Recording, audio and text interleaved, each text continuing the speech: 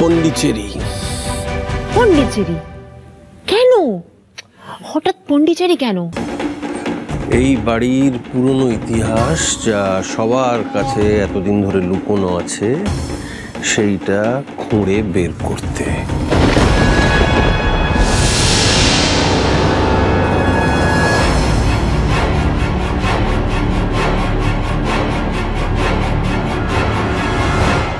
যাক বাবা, পিসে চলে এসেছে। তোর কাজের প্রেশারটা একটু কমবে। চলো, দেখা করতে হবে তো। ও, দাঁড়া বাম্মি ভাই, বলছি, পারলে একবার পিহুকে ফোন করে জিজ্ঞেস করে নি ও কখন ফিরবে না ফিরবে। শুনলাম পিহুদি বৃষ্টি বাড়ি যাবে বলছিল। ভালো হয়েছে যায়নি। ও চলে গেলে না এই বাড়িটা কেমন ফাঁকা ফাঁকা লাগতো ম্যাডাম আপনাদের গেস্টরা থার্ড ফ্লোরে আছেন। Room number three zero nine three one zero three one one আপনি প্লিজ আমার সাথে আসুন।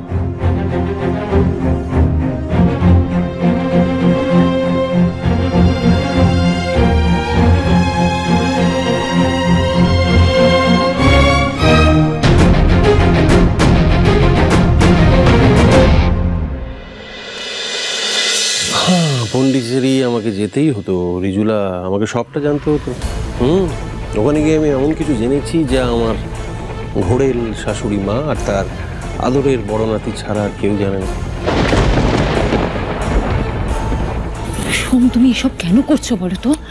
প্লিজ, আমরা এই বাড়িতে সবাই খুব ভালো আছি, খুব সুন্দর আছি। এত সুন্দর একটা পরিবার যেখানে সবাই সবার পাশে থাকে, সোম। ছেলে মেয়েগুলো ভালো আছে, সোম, এখানে। তুমি, আমি বুঝতে পারি না, এত কিছু পাওয়ার পরও তোমার তো চাহিদা থাকে কি করে? নাকি তোমার আবার সুখে থাকতে বুঝতে গেলছে হ্যাঁ? সোম ঋষি কিন্তু তোমাকে ভরসা করে। ভরসা করে অফিসের অ্যাকাউন্টসের সব দায়িত্ব তোমার উপর দিয়ে দিয়েছে। অ্যাটলিস্ট তুমি সেটা সেটা মন দিয়ে করলে তো পারো। আমার ডিএনএতে সেটা নেই। নেই, আমাকে সবটা জানতেই হবে, বুঝতে পারলে? আর তোমার ভাইপো ঋষি সেন আমাকে ততটাও ভরসা করে না গো। আমাকে দায়িত্ব দিলেও আমার উপর নজর রাখার জন্য ছোটদাকে লাগিয়ে রেখেছে রেখেছে তো। তাই আমিও খেলাটা এবার একটু ঘুরিয়েই খেলব। ঘুরিয়ে খেলবে মানে? ঋষি সেন ওই গুড ফর নাথিং রুষাকে নিয়ে মাথায় করে যে নাচে না সেইটা আমি এবার বের করে দেব। পিসো? হুম।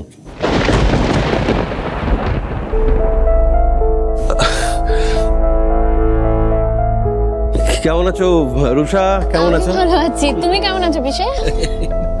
কি বান্দি? পড়াশোনা একদম বন্ধ হ্যাঁ? পড়বে না তুমি আজকে নাকি? যা পড়তে যাও। আচ্ছা ঠিক আছে। তারপর? তোমার সব কাজ টাজ কেমন হলো? বাইরের সব কাজ মিটিয়ে এসেছ তো? হ্যাঁ হ্যাঁ আমি সব মিটিয়েই তো সেই জন্যই আসতে পারলাম বুঝতে পারলে।